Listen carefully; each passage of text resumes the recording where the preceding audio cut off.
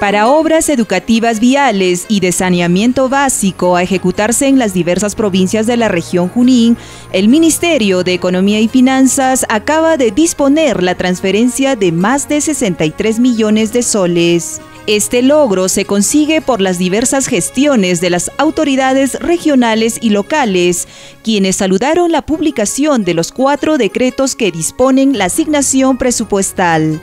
Más de 63 millones asumen la inversión pública de transferencia que recibimos el día de hoy a favor de la región recurso por gestión.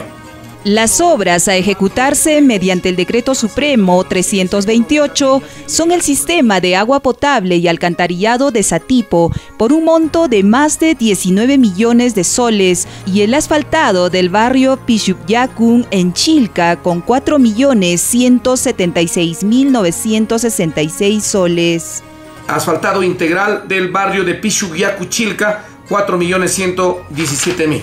A través del Decreto Supremo 329 se transfiere 7.700.000 soles para el Hospital El Carmen de Huancayo. 7.700.000 para el mejoramiento de la capacidad resolutiva del Hospital El Carmen Huancayo. Este es el Carmen Centenario en la zona de San Carlos, por Chorrillos. Asimismo, mediante el Decreto Supremo 330 se resuelve dar recursos para dar continuidad a 17 instituciones educativas ubicadas en toda la región por un monto de 9.466.902 soles.